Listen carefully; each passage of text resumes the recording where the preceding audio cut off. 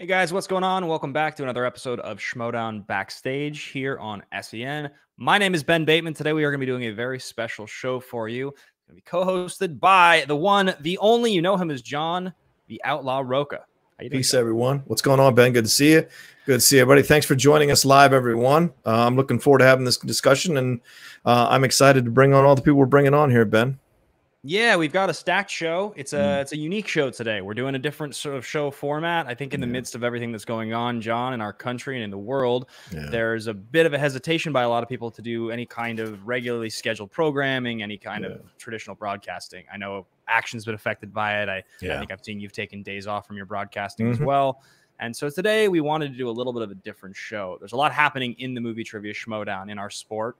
Um, and yeah. we have a lot of the sort of most plugged in voices to what is going on coming on the show today. So upcoming, yeah. we've got uh, we've got Robert Butler III, we've got uh, Winston Marshall, Jay Washington, Chance Ellison. Um, should be a great show. And the thing that's really unique about today's show is that we will not be doing any kind of a uh, super chat or Streamlab live uh, conversation. We will be taking donations all day uh, for the for the uh, the, co- the cause color of change, which is the same cause that every single dollar that went onto SEN this morning went to. And so anybody that wants to donate to that, um, you know, please donate in Streamlabs or super chats. We just we just won't be doing that as a major part of our show today as the regularly yeah. scheduled programming. So um, I think without any, you know, additional hesitation, let's bring on our first guest of the day.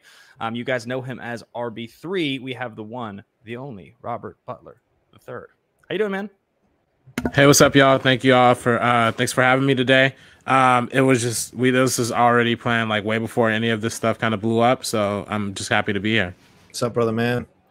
Yeah. yeah, it's really good to have you here, man. I know it's it's weird how the universe works that way sometimes. You know, I know we had we had spoken last week to you about coming on, and um, obviously last night Twitter was ablaze and things went crazy, and uh, so I think you know maybe people think it's uh, that's what it is, but it's certainly not what it is to us. No. I'm happy to have you here to talk about the Schmoedown. And uh, you know, we want to go match by match your career. We want to talk about every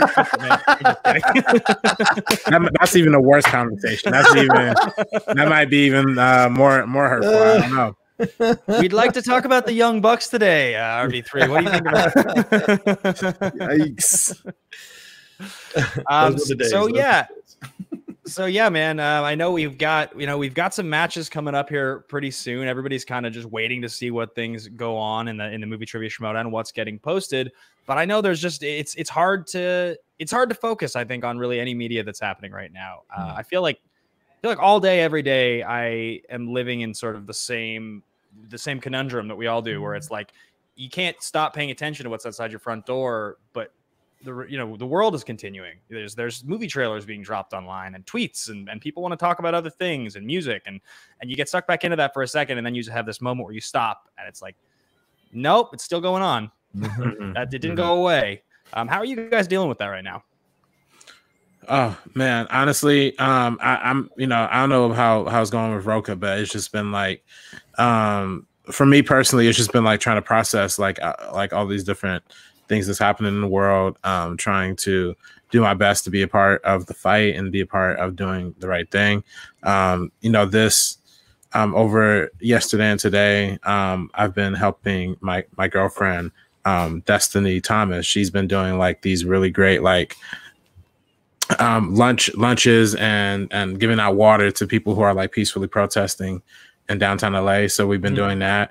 So, you know, it's just good to be a part of the fight. Uh, I personally consider this like the new civil rights movement, the new um, kind of era that, you know, we're going to start addressing real racial inequality. So I want to be a part of that. Um, tomorrow for First Cut, we're doing a, a, a, live stream. We're doing another one of our live streams. We do them every other Thursday.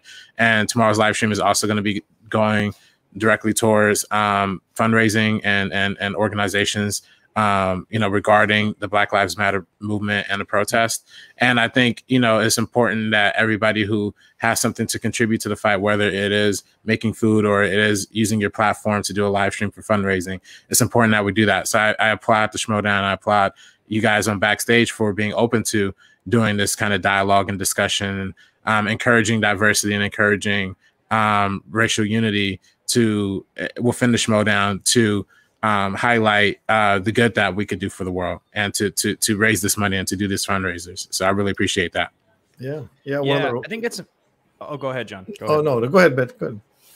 I just I think it's important for everybody to realize here that the discussion today and and this episode and the comments that you're going to leave afterwards, this is a place for a constructive conversation. Mm. That's what this platform is for today. Uh, if we wanted to have it be, you know, let's let's go back and forth and get into arguments, we just wouldn't have done the show today. That's not what the show is for today. It's to elevate the platform of the people that we have in this league that want to speak up about it, um, yeah. that that feel compelled to speak up about it, and that's what this is this is about today. So, yeah. if there's any hate in the chat, if there's anybody who's trolling, um, we have Goddard in here. I can see him in here. You'll be booted. That's not what it's for today. Yeah. Please stay away from that. Yeah, well, I mean, one of the reasons uh, I pitched this as a possibility was because I felt like it could be a, a time for good. It could be used for good. We brought on, uh, you know, people who have so because Janine's article is the one that really sparked. I got to give her some props here. Of course, Janine the Machine. You know, Janine's article about being a black female coming into the Schmoedown. Um, I thought it would be good to start and highlight that, and then speak to other uh, black people who've been part of the Schmoedown. People of color have been part of the Schmoedown and seen how much it is an inclusive environment. It's always been supportive and positive, uh, and uh, in that way, you know, always always opening the doors to anybody who can play this game, regardless of color, of skin, regardless of gender. And I think that's been an important thing, you know, and being one of the first people to win a title as a person of color, seeing other people come through and mention it every once in a while. It's always been something that has humbled me and helped me feel appreciated by those people. And I've always tried to give it back as well. So having these people come on to talk about it, Winston J, uh, you know, Chance and RB3 here, it's uh, it's uh, very heartwarming to be honest with you because there's so much uh, madness and craziness and despondency and going on in the world out there to for all of us to get together and talk about what how we can be a symbol of inclusivity. I think is incredibly important. Yeah, I think also you know people people were asking. Um, and I oh, saw this Morgan I seen in the chat. You know, isn't it important to hear the voice of the fans? Isn't it? Isn't and, and I think you know we, we have to answer that question here with with doing a show without comments today because I do think that including the audience is is very important. I think it's very meaningful. I don't think you can say that you know we're not going to include the audience and that's the fairest thing to do. But in this particular mm-hmm. case, in this particular show, uh, we're taking a little bit of a break from that. There will be plenty more shows. There will be SEN tomorrow and backstage next week with Mm-hmm. Those will all be open. So don't worry about it. It's just today we have a lot of voices on the show um, talking about some really, really, really important stuff. Um, and, you know, I think we will we will address uh, what's going on in our in our Schmoedown community and and what happened last night, but I don't think we need to make it the focus of the show today.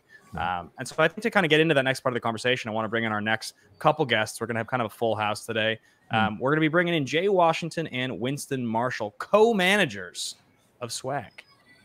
Oh, hey, hey, how you doing? Yo, uh, hey, up, th- hey, thanks for sending me that uh, DM, Winston, because I realized I had to take that down.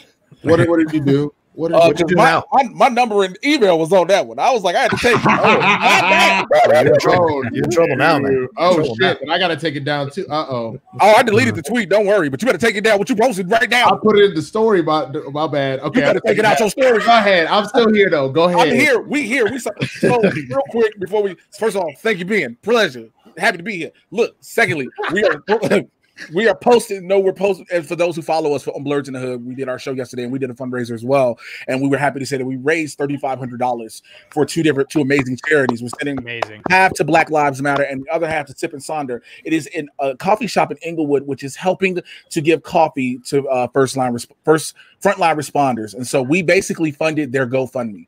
Their GoFundMe was for eighteen hundred dollars, and we wow. helped them reach their goal today.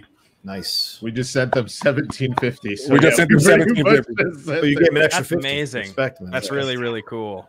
I like that. Um, you know, and and I think I think one of the things on that note that I'm I'm really proud of this community for is I'm seeing people talk about, hey, you know what, I'm I'm pulling some of my higher patronages to some creators because I want to be able to spread it around to a lot of causes that are in need right now. You know, people people and causes that really need help um, because you know, I mean, content is great. A lot of you know, we all have our own platforms and we all make content. We're proud of the content we make, but right now, you know, me talking about Patrick Swayze's hairline from 1991 is a little less important doesn't really matter quite as much right now, you know. And, and I don't, and I and I'd, I'd love to make a pitch for why you guys should join my Patreon, but that's not what it's really about. If you want to see Patrick crease right here, right here, right here, join the Patreon right here. We'll talk about it if we go over there too. I'm just saying, but you got to be a Patreon to get right here. It's like the wind, Yeah. Um, well, can I, let me jump in and ask the three of you, like, what has been your experience being a part of the Schmoedown? You know, uh, obviously as a competitor, but also, you know, as black men coming into the Schmoedown, and what has been your experience? Has it been inclusivity? Has it been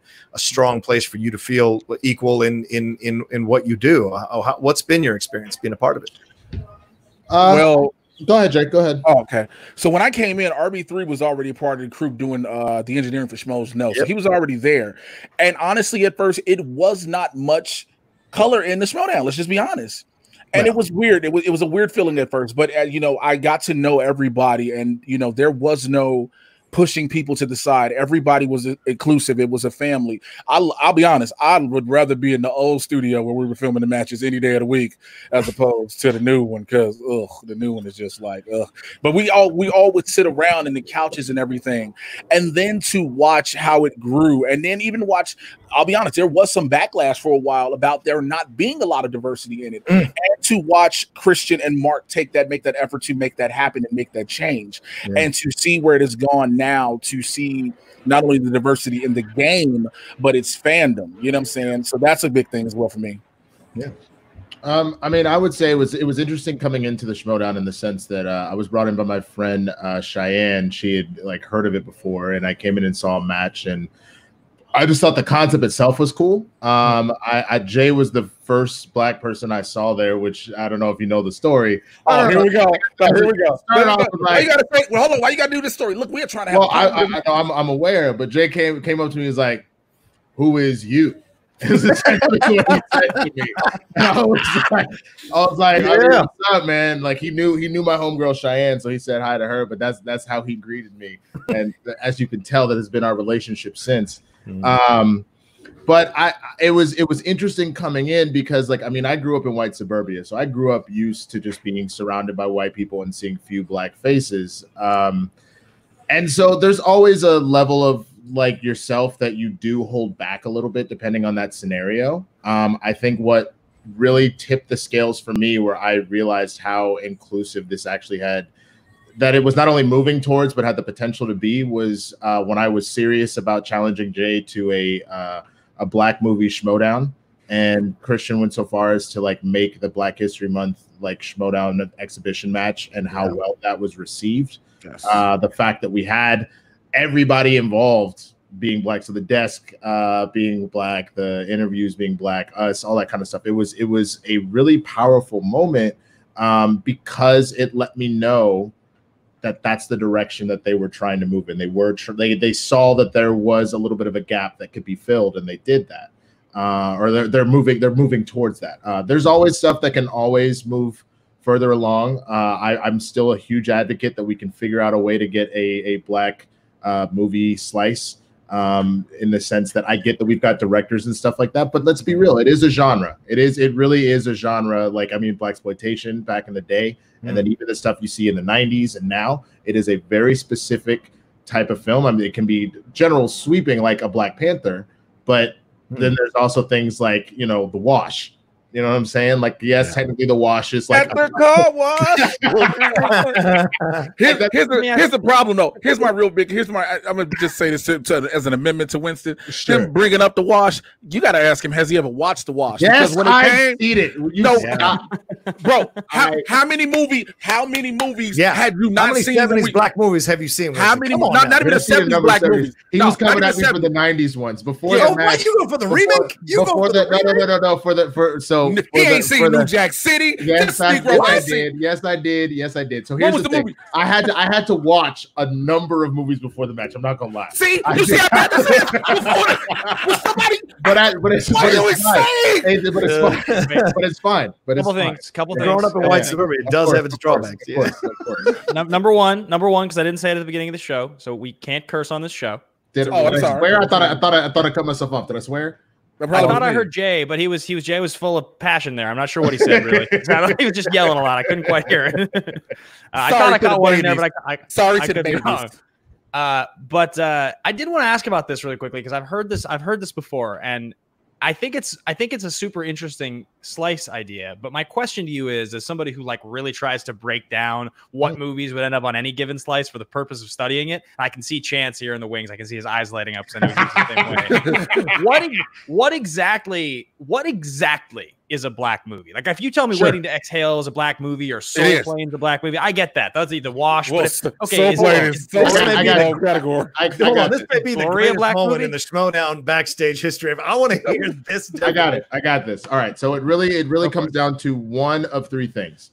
Hmm. If it's A, led by a predominant, like the stars predominantly are black. So Okay. in all honesty, you could include like uh uh what like what Man on Fire. I know that like just with Denzel Horner, maybe not, maybe not, maybe not, maybe not, but See- but but maybe not. But hold on, hold on. Hmm. So predominantly, predom- the, the stars are predominantly black. Mhm. The second would be if the director themselves is black. That has a large that has a large thing too because they're going to put their stamp on it that way. And then the third, realistically, is how does it affect the culture? If it if it directly affects the black culture, then it would be Okay. something that would be included. And I, to be honest with you, I love being a manager. I would be more than happy to take a season off doing that to help cultivate this because I truly believe that like one, it is a massive part of cinema that gets underrepresented in a lot of things, including in the Schmoedown. You do have your Denzel movies, you do have your Samuel L. Jackson, your Rock movies, but we're not just Denzel, The Rock, and and you know what I'm saying? Like it's Well, we way more than that. We got Tyler Perry now. I will kick you in the throat.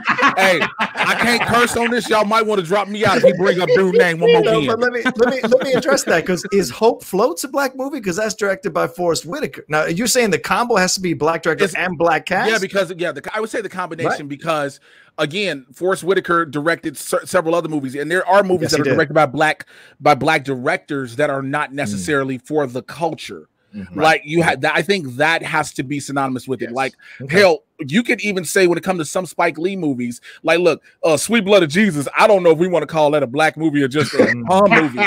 Like, like a Nah, that's hum nah, nah, I'm not gonna let you disrespect that movie. That's a great movie.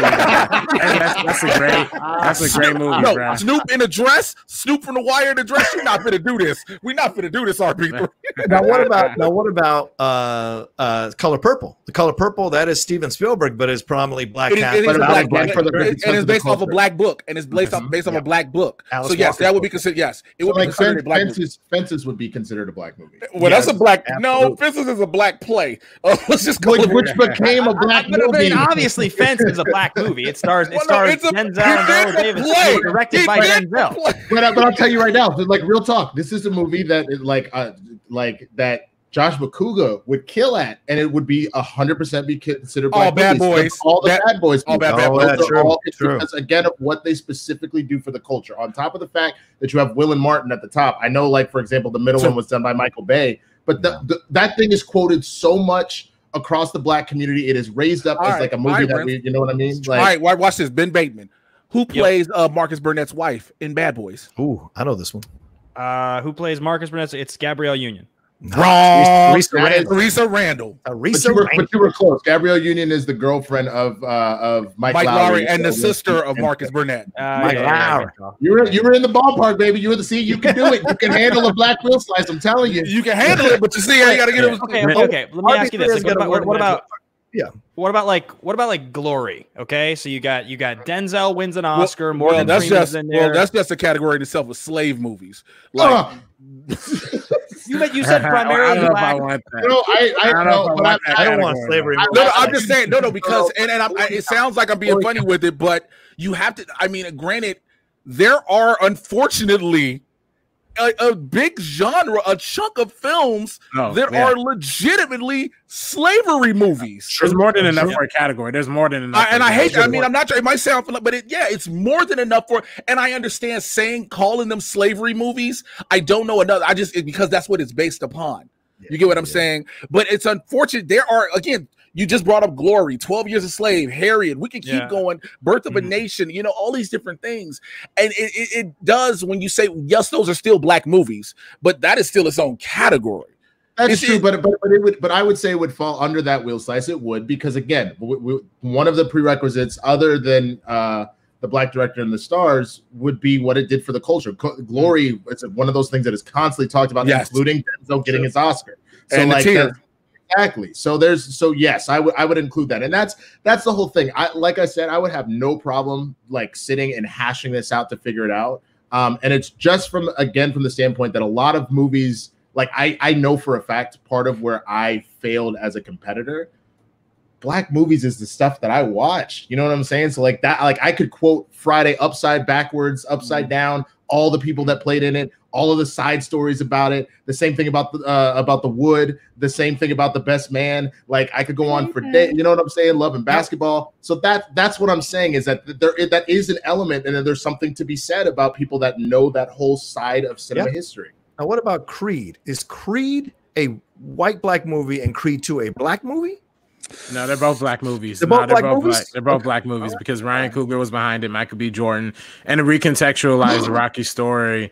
Um, hey, hey, hey, hey, hey. I'm hey, just hey. so impressed you said Michael B. Jordan without any hate in your heart. I know, I know, I know. It's tough. It's tough. It's tough. It's tough. Uh, but we gotta okay. stick together. We gotta stick together. But uh, yeah, that you know that I would definitely put that in that category. I wouldn't put any other Rocky movie in that category. No, no, of course. And not, it's really just mainly because in that movie, in particular, you know, Rocky's more of like a supporting character, but Creed right. is really the main star. So I, I think I think it resonated with a certain level uh, amongst the community too that that that you could put in that category. Yeah. And I and I think the last thing about it too is and and for anybody that still is kind of dissenting against this, I just want to say two things. I mean, the first, if the idea is that you do want to have inclusivity, that means including the things that come from people's cultures as far as like because that cinema is all important. I would even support honestly, and it would make the, it would make it instantly harder but I would even support having an international film slice. I feel Screw like that's why a Latino movie slice would be that nice too, once in a while. We matter. that too. That too, Rocha. Latino lives matter too. I'm just. I apologize, but then, but then the other, the other part I'm about it. silent right now. I'm just not gonna say that. the other, the other part is if if this is a the point to me with the Schmoedown why I loved it is it's a celebration of movies. It's a celebration of cinema. So that should include all forms of it, in my opinion. And so, it, it, again, it's I'm not asking for give me like blaxploitation and 90s black and this and that, like just one solid one. And uh, because there's going to be a breadth of movies for that anyway, a lot of that will be surface questions, regardless, except for maybe a few five pointers where you're like, you know, what was the last line said in Love and Basketball? You know that, Bateman? Or Rocha The last line said Love and Basketball? No, no. Rocha Uh, uh, um, um, oh my God. Come on, Jay. Did RB3 froze. Five, four. Oh, no, three. we lost him. Repeat the question. Over here. what was the last the, the last line of Love and Basketball? I, I can't remember it. I'm telling you, I'm going to bring on our next special guest right now because I'm looking at his face here, and I feel like he might actually know it. it. All right, can, he Google it? Can he Google it fast enough? No, I'm kidding. Google it again. I'm not going to do that to him. I'm not going to do that to him. I'll give another. Show me your hands, Chance. um, no, I'll, I'll save it. I'll wait. I'll wait until he uh, until he gets in here because I think he knows it, man. I I, I feel like Chance. we're looking at his. No, he's shaking his head. He doesn't. He doesn't. He doesn't so the last the last line of love it. The last, so the last line of love and basketball is double or nothing. So the idea yeah. is that yeah. this couple, the entire thing, they played ball That's together right. as kids. They grew up playing basketball and in and out of love and she's like, "Play me for your heart." And he yams on her for like the last five minutes of the movie. He's just dunking on her, breaking her ankles, all that stuff. And so essentially being like, I don't love you, I've moved on. But then right before he's about to walk away, he turns around and says, double or nothing. And every black person that has ever seen that was like, ah! Oh my Jesus! Oh, oh, oh, you both cute, baby. Oh, they cute together. Monica, you got your man. I will. I will. I'll be honest with you. I'll be honest with you. I've never seen Love and Basketball. It's one Ooh. of those movies that uh, that I always hear I need to watch. You got But I remember like. Uh, I remember last year or the year before that, I got to sit down for a couple minutes with Dennis Haysbert, and I wanted to ask him mm. about Heat. That was what I wanted to talk to him about. Yeah, yeah, I yeah, love Heat. He's and I love his character in Heat. Um, but I remember I told like three people that week I was going to talk to him, and every single one of them was like, "You got to just talking about love and basketball. That's the movie. That's the." Yes, I've always felt like a, I feel like I got to catch up on the movie. Well, I got to talk to Omar Epps about it, and he certainly went off about it uh, oh. at Collider. That was fun. That uh, that movie is so so good. I should have known that so double or nothing. Double, so, yeah, it's a good question here though. Is Martin Lawrence has Martin Lawrence made a black movie other than Bad Boys? Oh yeah. Um, okay. I would say what? Let's see. Oh, I don't want to say it. I don't want to say, but the Big, Big Mama's, House, house. the Big Mama's House movies. Um, Big Mama's House counts. Okay, all right. It does. Uh, I would honestly say Black Streak if you can, or not Black Streak, Blue Streak. Blue Streak. Uh, which has uh, Luke Wilson in it, but uh, remember Dave Chappelle's in that and plays like his cohort the whole time. Like I'll there's, there's a whole laundry list of stuff that's in there. Uh, I think, there's, I think there's a chance. I think there's a Black Knight? chance. Speaking that chance here, I want to say Chance has some, a story about Big Mama's house. I don't know why I think that. I feel like Chance told me once. No, a thin line between love and hate. Life I'm bringing him in. Life and a thin line between love and hate. and house Life party. is great. House party is also good. Party. and I House honestly would include Alright. Black. Someone said Black Knight. I would include that for the simple fact that, like, hold on, hold on, hold on. But part of the reason why I, it's not a good movie, it's not a good movie, but I would include that it is because the whole premise is a black man has traveled back to the medieval days, bro. True. Like it's true. literally about him dealing with race relations Sir, in sir. medieval times. Sir Skywalker.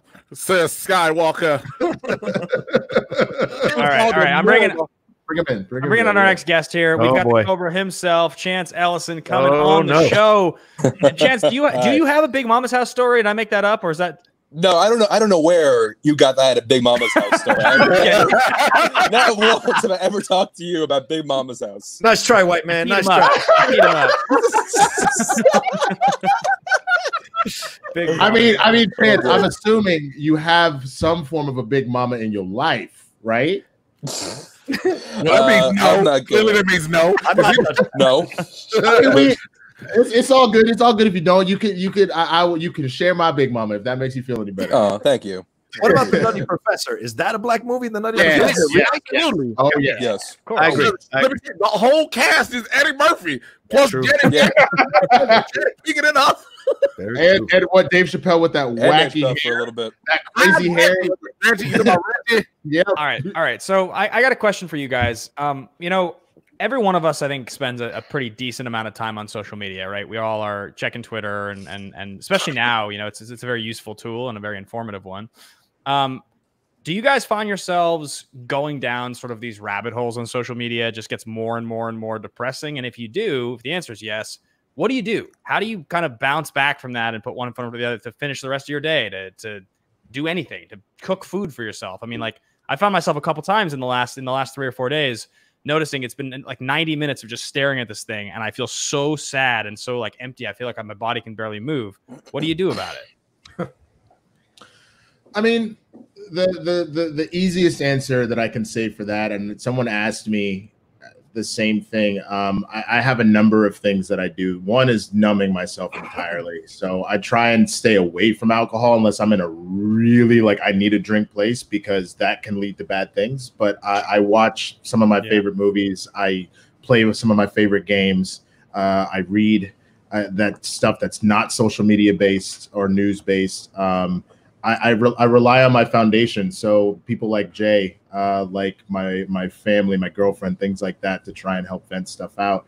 Um, and then most importantly, uh, and that was kind of the the the, the opening of my tweet uh, about our donation was, you know, the the quote from the the show The Boondocks. What do you do when you can do nothing, but there's nothing you can do? And the answer is you do what you can. And so in that case, uh, I raising the money we did, um, having discussions with people, um, just trying to spread awareness, whatever. That's what keeps me going because if I don't, I go into this very, very dark place, um, which only makes things worse. It's why I actually am a big advocate of telling people not to post black bodies being harmed and murdered over the internet. If you want to share a news story where the video is in it, people can have a buffer to see this is going to include some stuff in there but you don't want to post the immediate autoplay of stuff because for I, I can't speak for all these gentlemen, but I can assume so for the, the other four black gentlemen here. It has a psychological toll on your mind to constantly see black people killed and maimed and and beaten and broken, and it and it it what that's what will get you. Um, so that's kind of been how I Um, balance stuff out. I will, I will, s- Go ahead, Brooke. I'm sorry. No, I'm gonna say like Jay and I are older than everybody else right now. We've been seeing this for a few decades now. And on social media, you see it, and it's yeah, I know. Thank you, Winston. Winston said the other four black gentlemen, so I'm officially black. Thank you, Winston.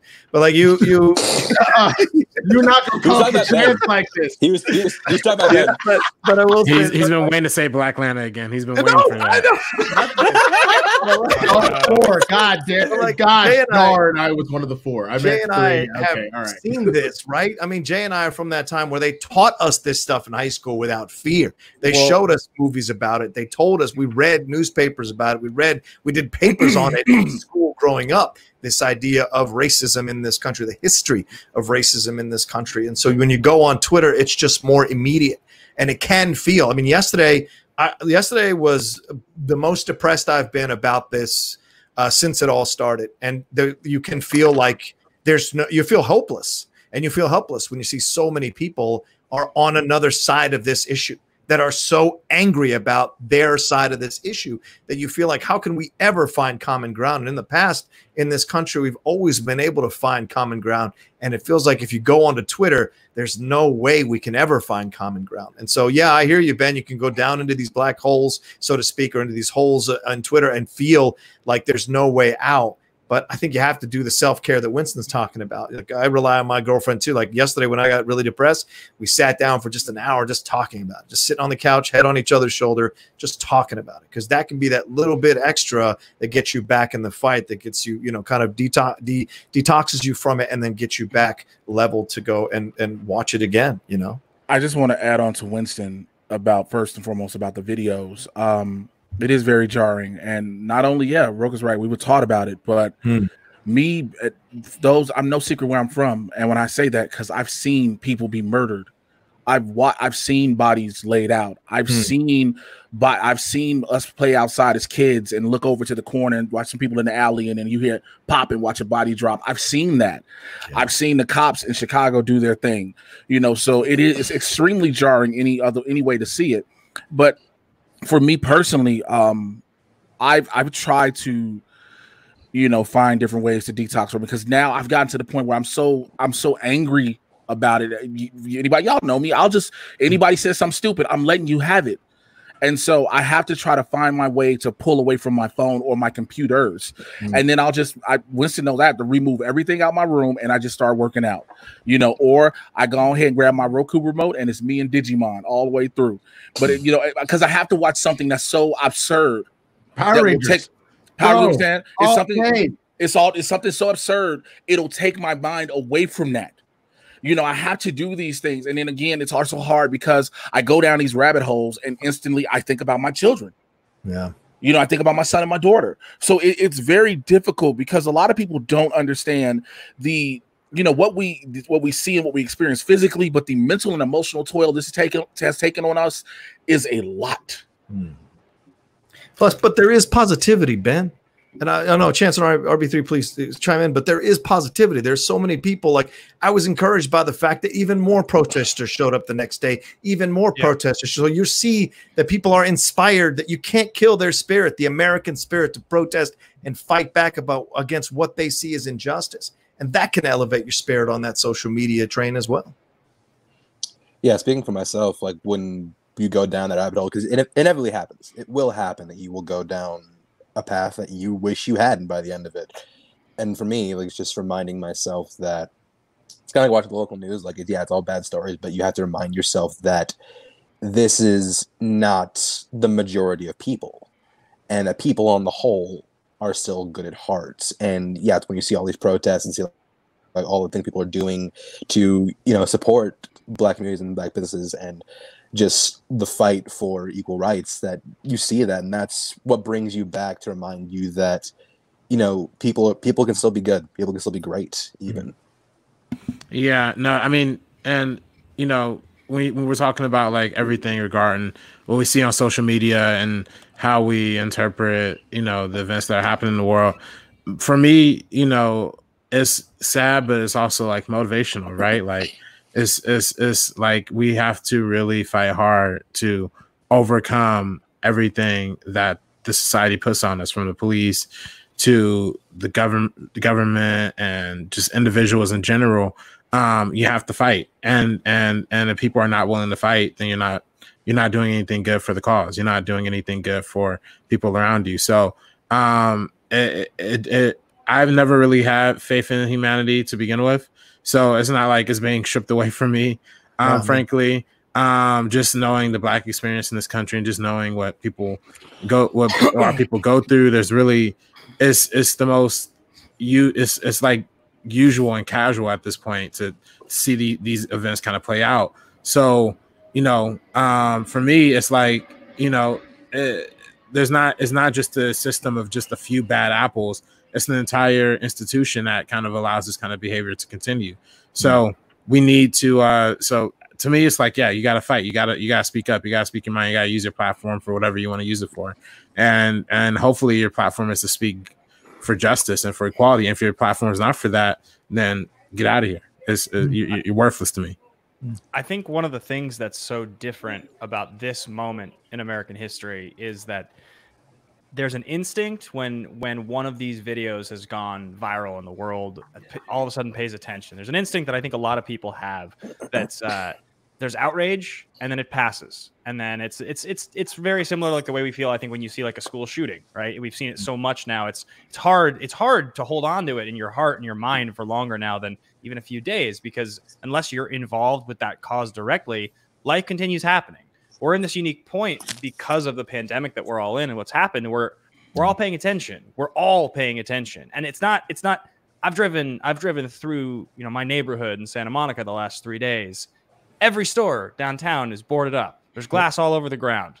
Mm-hmm. The National Guard's on the corner. It's this is not this is not like this thing that's happening on social media that I go outside and it's not really there.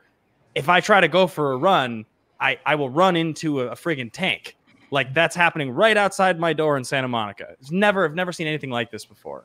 And so, you know, I, have been trying to sort of put it in context in, in my experience. So I asked my dad, who was an activist in the late 60s. You know, in 68, he was one of the people that took the, the Democratic National Building uh, at, at, the protests. And mm-hmm. I asked him if was this the same for him? You know, 52 years ago, was mm-hmm. did he remember this? And he said the one thing that feels exactly the same to him is the police brutality. It's mm-hmm. identical to 52 years ago. Cars being driven through groups of people, spraying protesters with fire hoses in 68. And he left the country. He left the country for seven years at that point because he couldn't he couldn't hack it right he just was like I, I can't live in this country and so i thought that was really interesting asking him if it felt the same to him in the late 60s and that was the thing he paid attention to is you know there's been so little change there that's a strong statement ben i mean because mm. I mean that's back before you could actually record this stuff on social media yeah. how much more was it probably happening back then or how much uh, like the levels could be actually exactly the same as your dad is saying you know what he was seeing must be uh, just to have social media back then would have been very interesting. Well, that's what he said. So that was the yeah. thing that I thought was so interesting. He said to me, they were driving cars through the groups of people, yeah. spraying them, you know, with with fire hoses, and then the next. Oh no! Is this what they pulled a Winston? Yeah, that's what it's like. and say it again. Say it. Sorry, Ben. You got to say it again. Say it again. And then what? He he he told me that that he was there. You know, he's watching as the mm. police are spraying. You know, they're spraying fire hoses and they're spraying tear gas and they're driving mm. cars through groups of people. But the next day in the newspaper about that exact protest, none of that's reported. Nope, none of that was reported. It's just and the rioters like, that are reported. Yeah, we we, we said about social media. It's the same thing. Yep. We, we there's a thing Winston and I said. Uh, I don't know if we said it before on our recent town hall or we've said it previously people racism has never gone anywhere it's just more readily available for you to see it mm-hmm. It's just readily available for you to see it like people thought for years and decades black people have just been playing the victim or using the race card or just trying to act as if we're being totally oppressed and everybody's trying to hold us down and like you said ben everybody's at home. So people have no choice but to see it now in mm-hmm. their faces. Mm-hmm. And so because it's happened so frequently, which it always has been doing, it's just now everybody can focus on it and be like, oh my God, is, is this really happening? It's yeah. what's really been happening. And I, I, think the other thing that makes it even worse, um, like you said, like you both have mentioned, I mean, being in the middle of a pandemic, that's a lot of pent up energy. And if you can only imagine – like I, I have brought it up into every stream that I'm at because I, I feel like it's a powerful sentiment. I wish as a black man the only thing I had to worry about was COVID nineteen. to be to be to be woken up yeah. to a young man getting shot while jogging, a woman being killed in her home while sleeping because of a, police having the wrong suspect, to to a man who supposedly had a, a fake 20, which he didn't, getting killed for that. Like none of those things are death sentences, and yet that was a thing. And like all I'm thinking about is, God, I just Instacarted for six hours today. Like, do I need to go get another test? Like, etc. But then I'm also like, Jesus, if I wear a mask into a grocery store, am I gonna? Is someone gonna attack me for that shit? Is someone gonna think I'm up to no good mm-hmm. for that shit? Like, yeah. oh, I'm sorry, I'm sorry. I, am I got a little too, but I um, but that's that's to me the thing that's the most disheartening. But I also think why we're seeing such visceral response from people is because all we've been worried about, especially black people, have been like, gosh, we just have to get through this pandemic yeah. to be reminded that we are still targets. And so I think that's why you're seeing so much anger come out more so than normal, is because now it's all pent up energy more so than it normally is. Well, and you and you you talk about this idea, Ben, of running. You know, you can jog into a tank. You can jog and see a tank. A black man jogging around that corner seeing a yeah. tank, anything could happen at that point just for jogging past. I mean, we just saw the Ahmaud Arbery situation a couple of weeks ago. That gentleman is jogging, and you see what happens to him. You just never know you know, uh, when you're black and going into these situations. We had Jared Haibon on on in game time on Monday with me, Jay, uh, and Winston and and Ellis, and he said like I've never been afraid of the police. Like it's my experience is so completely different. When they show up anywhere, I actually feel safe, and that is such a different reaction than most, if not all, uh, black people feel in this country. And that's the thing that they're protesting against once and for all. The ending of this kind of feeling and change. And it tells me when you see the extreme reaction from the other side with tanks and National Guard and active military being talked about, that they're afraid of this movement. It's this movement is so powerful that they're they're already going to DEFCON 4 in their minds because they really are afraid that this could be the movement that finally changes things. This could be their moment when they finally get called to the carpet once and for all. And everyone needs to get called to the carpet for this. It isn't just the easy targets everyone, studios, websites, entertainment places. Everyone needs to get called out if you really want institutional change. And that's what I hope these movements are waking people up to once and for all. And I hope they don't just die down and we go back to living with the accepted norms that we've lived with for decades in this country. Yeah, that's what you guys. I, I gotta ask you guys. So when you are when you are kind of looking around and you're seeing like people reacting in all the ways they are. And there's a lot of strong reactions, right? People are very, very, very agitated right now. One thing I see a lot of is people will post these videos of like a white cop hugging a black person, mm. um, and it's like a touching song in the background. It's a it's a thing I've seen a lot. I've seen it on Instagram. I've seen it on Facebook, and I watch these videos. And it's not that I it's they're not staged. I think they're totally real videos. Yeah. But I'm wondering, is that the media that should be getting shared right now? Is that helpful to see that, or is that kind of masking the real thing that's happening. I don't think it's helpful. No, I honestly don't. I, it's not. It's. I don't think it's helpful at all because wow. you're trying to say because right now we're talking about, you know, we're talking about these this this terror within a police force, which started out as a sl- as slave catchers. That's what the police force in itself started out as. And then we know when we talk, we want justice for cops who are killing un- unjustly killing black men and women. Then you want to say, here, check out this video of a cop playing basketball in the hood. He's hugging a black kid, like, yo, you're just trying to patronize us, and it's not. It all it does is enrage us further. I would. Yeah, it's it's. it's I'm sorry, Winston. Go ahead. You're, you're good, RB3. Go for it. No, I was just gonna say I, I personally find it like to be performance art.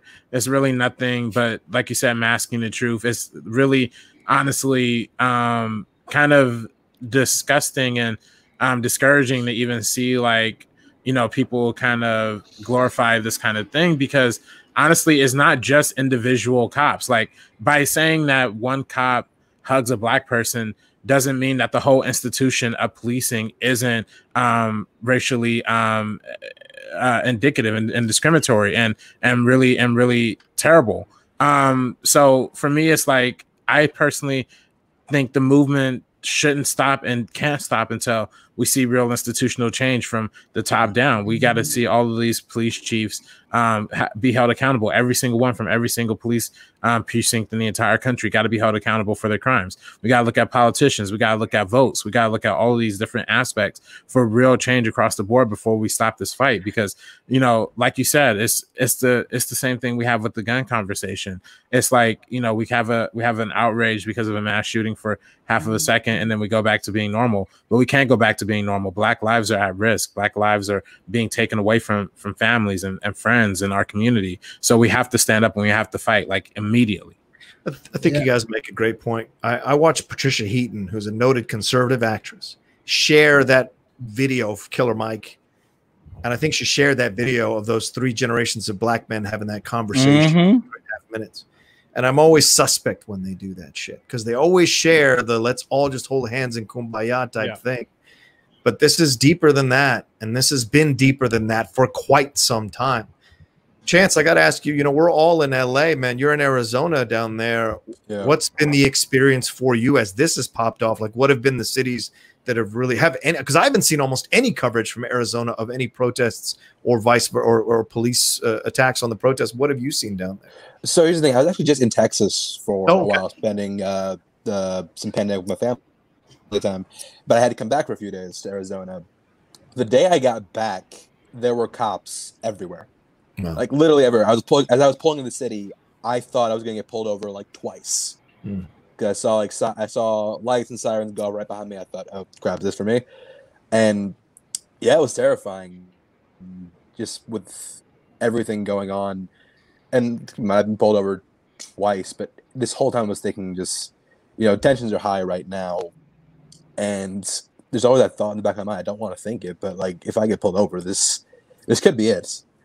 So I try. I, I was just driving just super on edge and it was really it was really uncomfortable. But yeah, it's there's not been a whole lot of coverage because there hasn't been a whole lot going on. There's been some minor protests, but nothing like major, like newsworthy. But yeah, yeah uh, here it's every everywhere is feeling the effect of this. Yeah. Can I can I piggyback off of the the, yeah, yeah, the question before? I mean, I think that it's not helpful to see a cop playing basketball. It's not helpful to see a cop hugging somebody. It is helpful to see when one cop threw a black woman to the ground that a black police officer cussed him out. Yeah. Yes, yeah. I saw that one. It's that one. It, it is it is extremely powerful and important to see someone like police chief, uh, I believe his name is uh, Avocado in uh, Houston. Yeah. Uh, Acevedo, like, yeah. It's Matt's, bro- Matt's dad. Yep. Is it Acevedo that I said? Oh, mm-hmm. yeah, yeah, yeah. Acevedo. Dang, dang. Okay, yeah. yeah. But, but everything that he has said and done, that's huge it's it's huge to see. There was another one where you saw cops, like a massive row of them with all their shields and whatnot, all put that down, drop them, and go walk with the people. Those are things that are important because now you're actually trying to show me that you're trying to do something to stop this. But to just have a photo, like to me, it comes off as a photo op. If you decided, like, oh, a cop hugged a black person, because for every one of those photos, I can point out to where a cop then pepper sprayed a child where where two college kids are just driving home and they're getting dragged out of their car tased as their ta- their car is also being destroyed in Atlanta. Like I can point out to all those other different things. So for me, I can I can point out to the LA City Council meeting yesterday where the police yeah. chief said openly, "This is as much on the police as it is on the people that are protesting. How dare you? Mm-hmm. You you like the police force murdered someone." and you want to put that on us on protest? You can't do that after the fact. No, no, no, no, no, no, no, no. You don't get to do that. And so that that's my whole thing is I do want to see positivity. I want to see the cops doing the right thing. But I'm suspect for the ones that are like, "Ooh, this is a feel good piece." I need to see like legit action and stances that show me that you are actually serious about what you're talking about. And also, there's yeah. one more issue we have to always mention, and I said it yesterday with Winston on our town hall it isn't just police chiefs and the, the precincts. You have to find a way to deal with police unions. That is the biggest issue of them all. Police unions are what keep officers from being immediately arrested. It's what keep them from being prosecuted sometimes to the fullest extent of the law. It's yep. what protects them and allows them, even after they have committed crimes, to be right back on the street. Police unions are a major problem. Mm-hmm. Yeah, and that's that, not Sorry, oh, sorry. No, no. I was going to say, and that's not even to mention another huge problem in the policing structure is the idea that in order to practice law, in order to become a lawyer, you have to go to uh, four to six to eight years of mm. education and higher education. But in order to enforce the law, in order to be a police officer, you only need what six, eight weeks of training. Eight That's ridiculous. Um, that leaves, yeah, that that requires no um, accountability for your community that requires no insight into where you live. A lot of police officers don't even live in the yep. um, areas that they represent. So it's like it's just top down. Like I said, it's it's all the way. It's all the way. We have to change the entire system. Well, and that's the thing. And you see now, you read the reports, like a lot of people coming out, like uh, this gentleman in Minneapolis who was against the police unions and what they were trying to do. Uh, he said, like, whenever we voted against their raises or voted against giving them more money, it, all of a sudden they were slower to respond to calls in our districts, in our counties, if we voted against them, if we had issues them. So it becomes, in essence, uh, if you start to look at this thing, it's more than just a, you know, do you not to, well, to use that term, I guess, a black and white issue. It's not as easy as that it's so much more complex and deeper. It's by systemic. It isn't just let's get rid of some bad cops. Systemic impl- implies the union as well. The way they, they, like right now, the LA board is voting on it. They want to give 52% of the budget for this year to yeah. cops, to policemen. That's they are. They already did. They we people yeah, tried to people exactly. tried to set petitions, but they they got away with it. And that's the thing. You have to yes. then they have to create this idea of well, we have to create crime if we're going to validate getting 52 getting 52% of the budget. We got to figure something out here. So it starts to become a, a snake eating its tail. And that's the thing at the end of the day. If you want to break this thing, you're going to have to break it all the way down to its foundation and then build it back up again and that's going to take a lot of time. You know, it ain't going to be one gen. Even Biden said that in his speech yesterday. It ain't going to be one term it's going to take a number of years to make it the real systemic difference that you want to see. I want to uh, jump in here and say a couple things. So the first one is i am watching the chat. We're not reading it today. If you guys are just tuning in now, um, we are donating every single dollar that gets sent in on a super chat or a stream Streamlab to Color of Change. But we are not going to be, uh, you know, reading the chat today. That's just not the show today. But a couple people asking in here, you know, why are we spending so much time talking about real world issues as opposed to the Schmoedown? This is supposed to be an escape. Uh, and I, I, think to respond to that, you know, there's a couple things I'm very proud of. We have been live for an hour. We have talked about the Schmoedown for maybe five minutes, and this is one of the most watched episodes of the show that we've ever done.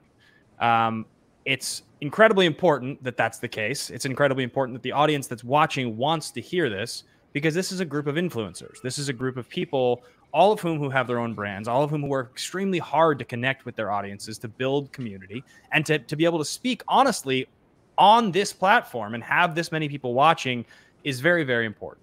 Now, it brings me to a question I have for all of you guys, which is that when you're watching the discourse in the chats of the shows that you do, um, mm. when hmm. you're watching your patrons responding to posts you make and, and in the live chats, sometimes you'll see maybe somebody that you have a pretty good relationship with on a casual level because they're a fan of yours say something that's doesn't totally align with the way you feel.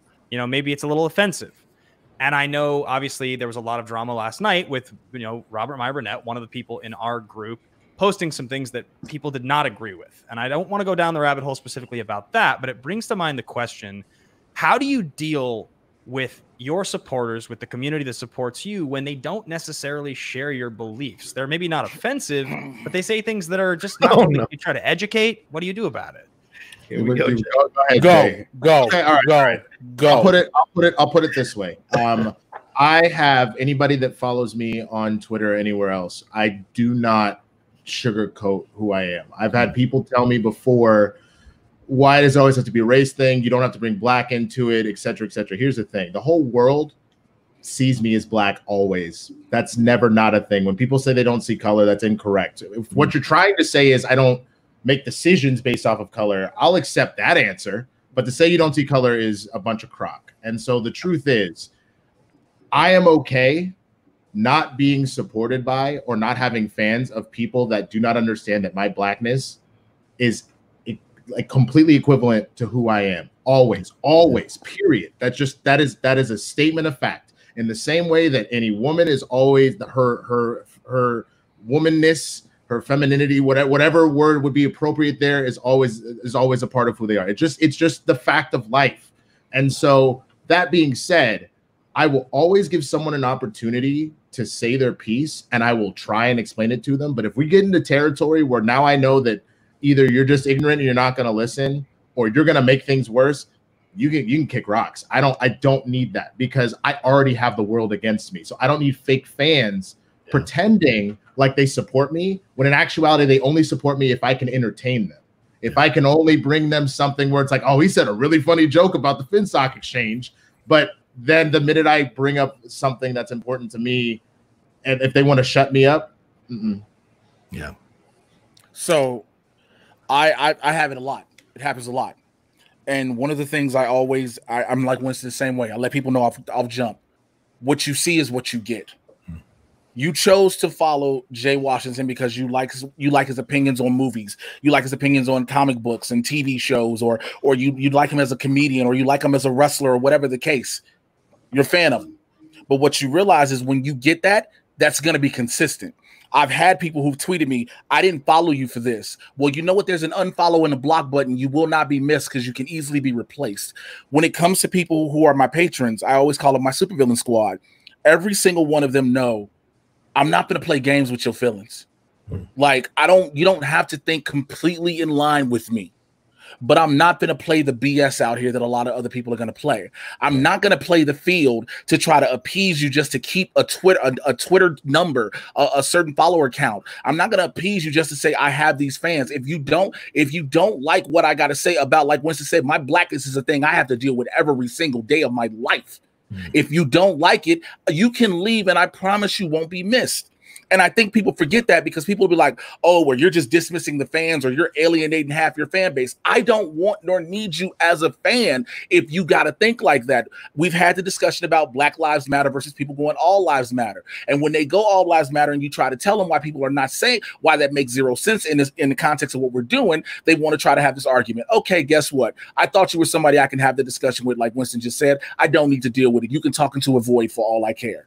And some people assume that because we're this personality, that we're this person, these people who are on a platform who have who give entertainment to people, that we're obligated to appease their appetite for whatever they want. We're obligated to bow down to them for whatever they say. We have to like. I used to have this big rupture with the fans in the Schmoedown group back in the day. And I, I, had to tell Christian about it. He was like, Why do you say these things to him? I said, Because a lot of fans were acting entitled were because they are patrons or fans that we have to kiss their ass. And it happens in not just the Schmoedown, it happens in Marvel fandom, it happens in Star Wars fandom, Star Trek fandom. This happens a lot.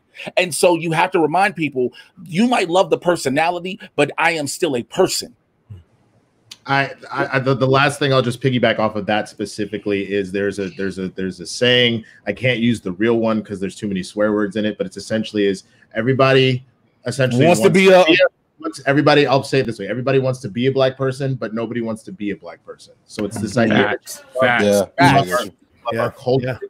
love our I mean, music, you love our vernacular, all that kind of stuff. You want to be a part of that, but the minute the the chips hit the table, you don't want nothing to do, and that's that's part of why I've even said I'm paying very close attention to the people that hear us and are trying to amplify us and to help heal us and those that are quiet or even worse that are antagonizing us. Those yeah. things are huge right mm-hmm. now. Well, yeah, it's important, and that's why I have Jay and Winston on Game Time every Monday because to me, you can't separate politics from sports when it gets in there. A lot of people want to separate these things out, but I know with Jay and Winston, I'm going to get the honest truth from both of these gentlemen about how they feel about the situation and a new perspective, and I appreciate that with both of them. And we go wild, we go wild out. There's cussing on that show. We go wild out on that show. this ain't your SportsCenter. yeah, SportsCenter. Is that our tagline? I love it. That is yeah, that, that, should be the tagline for the show. yeah, we we we throw it down because we talk about it honestly and put it out there. And you know, speaking on my end, and of course I'm not I'm not black, so Latino just a little bit uh, lesser in terms of the things that come into my chat. I will speak out on them in the chat. I will mention them by name during my show because I mold my fandom to be a certain way. And I'm proud that when people are done on my shows, they email me or text me or call me and tell me your fans have complimented me for the last three days of being, that you you have the nicest fans. And I know because I don't stand for any bullshit on my show. And I'll cuss once. I'll cuss once. First time I've broken it in months. But I don't stand for any of that crap on my show. And that's on purpose. So I'm in Jay's camp. Does it mean I don't have 50,000 followers down the road? So be it but at least the fans are understanding and get where I'm coming from, and I can rely on them and trust them. Yeah, and I think you know, and that's that's what's important here is like you gotta remain uh true to your integrity, true to your truth. You know, um, I'm never gonna change anything I say. I'm never gonna adjust anything I say um for anybody, um, regardless. Uh, you know, especially if for if it's somebody I care about, or if it's somebody in my life, you know, that's a different conversation. But it definitely for sure ain't gonna be some um some white ring right wing, you know, stupid idiots with no profile picture and five followers on Twitter. I'm never going to bend to that. I'm never going to bend to the person with no subscribers in the comment section. I'm never going to bend to that. So like you, you, you, and you can't because that's what leadership takes. That's what leadership takes is being able to stand up and, and stand by your morals and stand by your words and stand by your truth. Yeah. Um, I want to I want to give everybody here because we're probably here for about ten or fifteen more minutes, maybe a little longer. The opportunity to grow a platform, a platform you're on that that you are having guests on, that you're speaking your mind, where where the people can find you if they want. And this isn't just a quick. This is my Twitter plug, but what are you working on right now that you're proud of? I can start with you, Jay. Uh, talk for a second. Um, I know he has a separate one he'll speak to as well, but I'm proud of, pardon me, my allergies acting up. I'm proud of what I'm doing with Winston with Blerds in the Hood. Um, we took an idea of the two of us starting to talk about sports or blurred and goal and be able to expand that to talk about pop culture, news, current events, uh, the nerd world, and just regular things in life, and to be able to hit home and not have to pull punches. You know, a lot of people will say, well, you guys want to try to get the show picked up. You might have to try to tone back on what you say or what you do. And our both our philosophy is, and I think I can speak to Winston, speak for Winston on this one. You know what you're getting. This is us. This is yeah, us. Yeah, we're probably you know never going to get a real sponsor. Let's be sponsored by Crown Royal Vanilla and, and I'm and still trying to get Manscaped to get on, but but you know I'm still trying to get Manscaped to be like, yo, we we doing this, bro. Hey, but seriously, what we do because we we I've said this so many times before.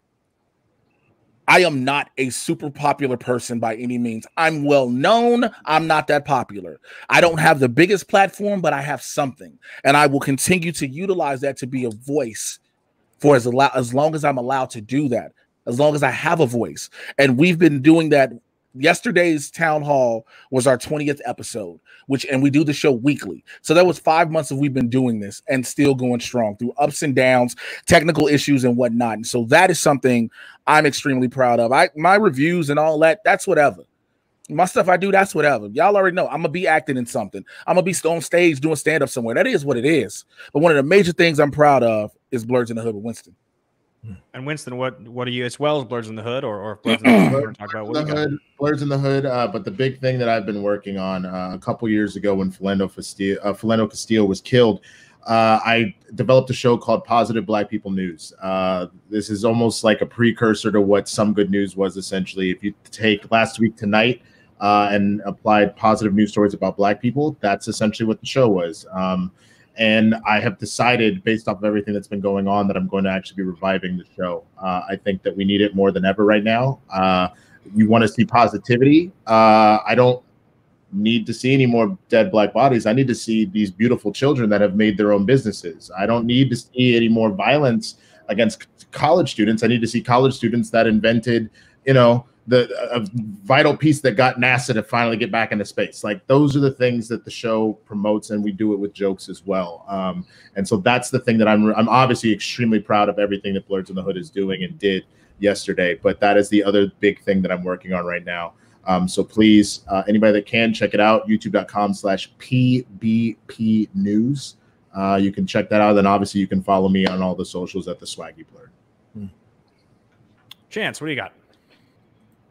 Uh, so the main thing I do is a podcast, Notorious by Chance. I've been doing it for about two years. Me and my buddy Russell Howell, we come and we talk everything entertainment, but we also, when something big like this happens, we always take the time to talk about it. Like this last show we published, uh, we took a, a good amount of the show to talk about George Floyd, talk about that situation. Uh, yes, thanks, Bob. I appreciate it.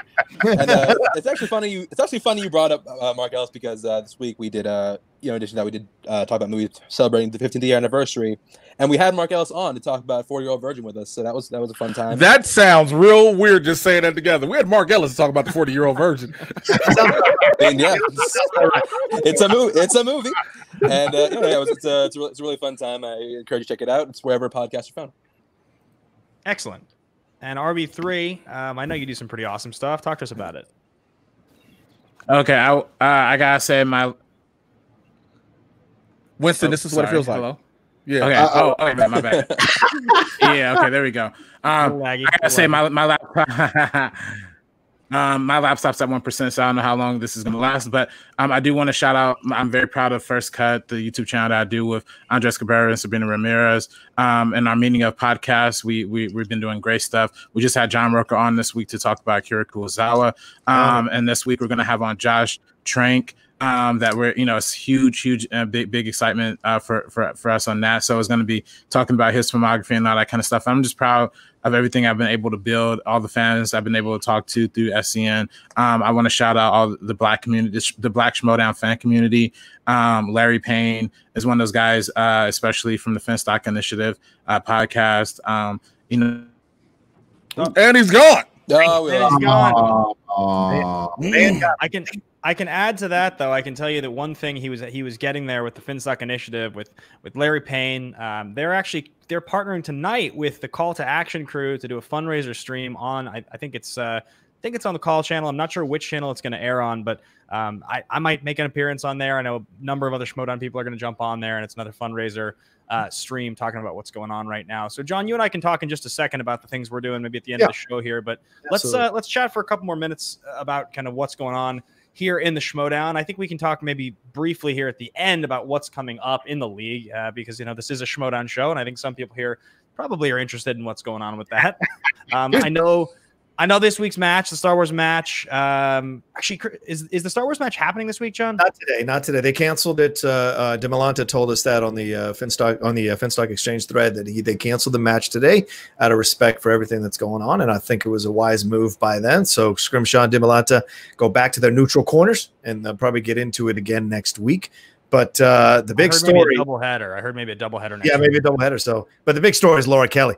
Y'all better get ready for Laura Kelly. Holy Mary, Oh, Mother yeah. of God. This woman has become a completely different performer almost overnight. With that promo following with that victory, you're just like, whoa. Uh, so uh, right now, she's become the odds-on favorite this side of Andrew DiMolanta for her, for me on my end to win this whole damn thing. And so I got to give love up to her for sure.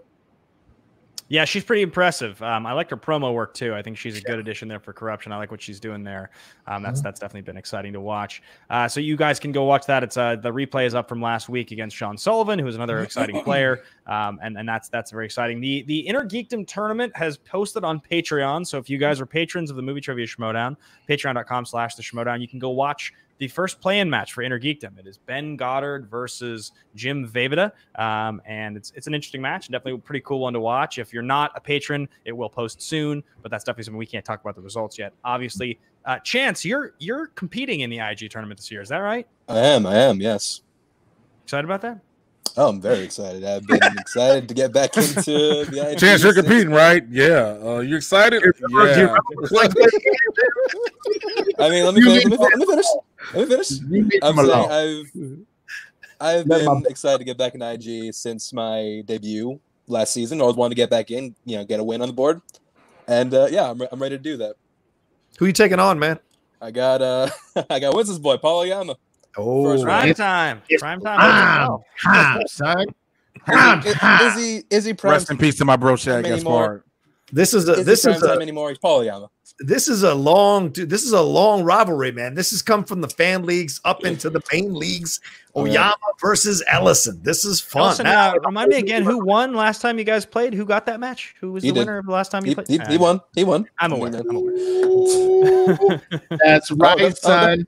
That's right. That My hurt. boy, my son out here about schooling all them other little kids on the playground. I ain't even worried about that. Let's go. You know, I'm, I'm not. Is, is winning something he even does anymore? First Will of all, help? First of all, first of all, Oh my Lord Jesus! you gonna be eating Oh. them words, sir.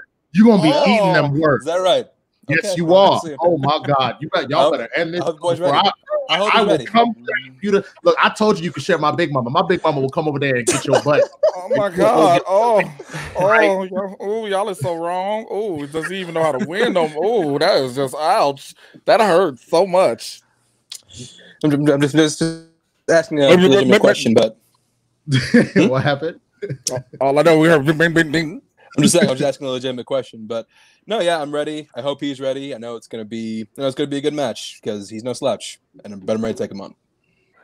I like. Yeah, it, it should be a good match. That should be exciting. Um, obviously, you know, with the with the Schmoedown, the future, of what's going on. I know, John, you and I are in weird positions right now because we both were a, a number one contender match away in singles, away from playing, and it doesn't look like we're going to get to play for a while. Um, so we're just watching as all Wow. these Star Wars and Intergeekdom Wow. matches. Uh, Wow. yeah. Just- the the ego you have to have. to have a I mean- of yourself in your room. Yo, yo, John, Uh, John. excuse me. What, is, Excuse me. what, is, what does that? What does that say right there? Can you read that? No, right does it there, that, This is a Sir. this is a picture of a friend who sent that in. so I sir. put it Sir, that says right there. That says get out. All right. Say, handle that, please. Um, no, I'm, I'm excited. I'm excited, Ellison, to watch your match against Oyama. I think that should, that should you. be a good one to watch. You know, the other one that we have coming up that I think has been announced is that we've got Greg Alba versus the Warfather in Inner Geekdom. That's another one that should be really interesting to watch. So, you know, next week on backstage, we should be back with some, you know, some other some other guests to talk a little bit more about matches that are going on, unless, of course, the world does not get back to any recognizable uh, rhythm that we can actually exist in, and and and maybe that's the case. I really hope not. I really hope not. But um, you know, I think we're all we're all hopeful that things are a little less inflamed and violent next week. We were mad at 2017 for taking Princess Leia. I mean, like I think all of us would love to go back to 16, 2017 16. or 2016 into 2017, right? Because 2020, man, I'd happily go back to 2016. Hey man, I 2020. y'all know the year ain't even halfway over with yet. We've been Man. going through. I mean, it's it's tough between losing Prince and where we are. Can I, can I make, Yeah, can I make a request? If we're going to time travel in the last four years, we just go back to 2018. That was a fun year. All right. Can we, Like go I back to, joined the can we go back to 15? We got Star Wars back. Fury Road came out. Obama was still in office. I, I just, I just, I just want to go back to when I had money in my bank account. Oh, here we go. Here we go. I mean, that's the best time to go back to. Why y'all, y'all sitting there picking obscure years? I just want to go with my bank account at a No, no, no, no. I'm not, not, I don't hate that pick. I don't hate that pick. Oh man. Um, well, anyway, guys, I, I think we probably can wrap out here in just a second. Um, John, talk to everybody about where, where they can find you with Outlaw Nation.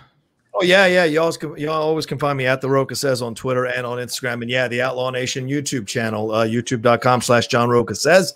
Uh, so much great content on there. You know, you see those two gentlemen right in front of you there, Jay Winston and uh, uh, uh, J- I'm sorry, Jay Washington and Winston Marshall. They both are on Game Time every Monday. Uh, we have a grand old time doing that. I've got Outlaw Nation show coming up later on this week. Dorina Arellano is going to be my guest, and we're going to raid at the machine for a couple hours. And I think we're going to rate whatever we get from Streamlabs, and we're going to donate that as well. I've got the Geek Buddies on there. Might be doing a live stream of that tomorrow where the donations go. And then Strong Style on Friday, the live show. Maybe Jay wants to stop by and join me and Aaron Turner. We'll do that as well for charity. So a lot of stuff coming up this week. Plus, the Outlaw Nation will, uh, on the Facebook group, the Outlaw Nation Facebook is launching their own Schmoedown reaction show. It's called the Ultimate Schmoedown Show, and it is going to be a lot of fun. We've picked four great people to host that show. Once again, inclusive uh, and to be a part of that show. So I'm excited to uh, to have that launched once and for all. So come join the channel. The channel is all about inclusivity. You know, we got Alex Shashak with me on Mornings with the Outlaw as well. So very much trying to convey and practice what I preach about inclusivity with my channel. So appreciate your patronage in any way. Excellent. And guys, remember uh, to subscribe to the feed here on audio. If you can listen to the show every single week as a podcast, it is available. You can find it anywhere your audio shows are available. Hit that subscribe button below if you haven't already. And if you're interested in checking out one more channel, I do host a thing called Nerds and Suits. It's a brand new thing I launched very recently, youtube.com slash nerds and suits. There's two shows on there right now. One's an interview show. I actually have Andrew Guy as my guest this this Friday, which should be pretty fun. And uh, my birthday, my 32nd birthday is on Saturday, and I'm Really? doing uh, a stream with a huge announcement, a massive announcement on Saturday on the channel, 5 p.m. Um, that I'm really excited about. It's uh, I'm doing a lot of music on that channel, and uh, this will be a music-related announcement. So um, come check it out, youtube.com/slash Nerds and Suits. Trying to get to 2,000 subs by Saturday, if possible. I really appreciate everybody watching. I really appreciate you guys coming on as guests today. This was a great say- show. I wasn't Yeah, yeah, we yawn. Somebody was like, "Yo, Jay yawning because he bored." Jay hasn't been to sleep. Jay's body is shutting down. it's it's just been too stressful to sleep, so I haven't been asleep. But yeah, man, good. Luck. So I just wanted to make clarify that. Yeah, no worries, man. But I, I just I appreciate you guys coming by for the show. I know this is a I know this is a tough time to want to guest on any show. It's it's a little bit scary as to what's going to happen when you go on air. You never know, especially when times are as heated as they are. Um, but you guys did a great job today, and it was it was done with Thank a lot of respect. And I was just very very happy to see in this chat, there was really a ton of support. Definitely always some trolls, but uh, a lot of great support in here. And, and, I was very happy to see that. So remember, you guys can donate to, to Color of Change until the end of the day. Every dollar that comes in through streamlabs.com slash the Schmoedown still will go to that charity by the till the end of the day. So go do it. Go donate. Be a part of it. Be a part of the movement. And we appreciate you guys' support here. See you guys next week. John, thanks for coming by, and we'll see y'all soon.